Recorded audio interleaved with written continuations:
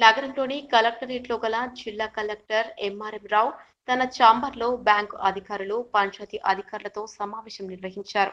ఈ సందర్భంగా ఆయన మాట్లాడుతూ గ్రామ పంచాయతీల్లో పారిశుద్ధ కార్మికుల నిర్వహణలో భాగంగా చెత్తను స్వీకరించడానికి డంపింగ్ చేయడానికి హరితహారం మొక్కలకు నీటిని అందించడానికి ఇతర కార్యక్రమాలకు ట్రాక్టర్లను ఏర్పాటు చేసుకోవాల్సిందిగా ప్రభుత్వం ఆదేశాలు జారీ చేసిందని ఆయన తెలిపారు.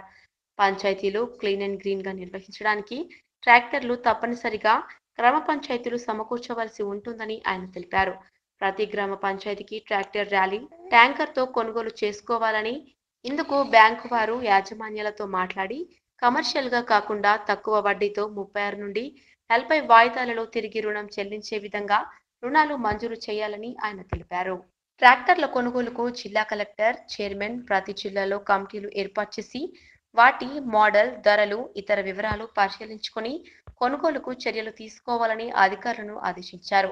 వీటి వాయిదాల చెల్లింపునకు సంబంధిత గ్రామ పంచాయతీలు వారికి గల ఆదాయాల నుండి లేదా పద్నాలుగవ ఫైనాన్స్ కమిషన్ నుండి ఇతర నిధుల నుండి బ్యాంకులకు రుణాలు వాయిదాలు చెల్లించవలసి ఉంటుందని ఆయన తెలిపారు.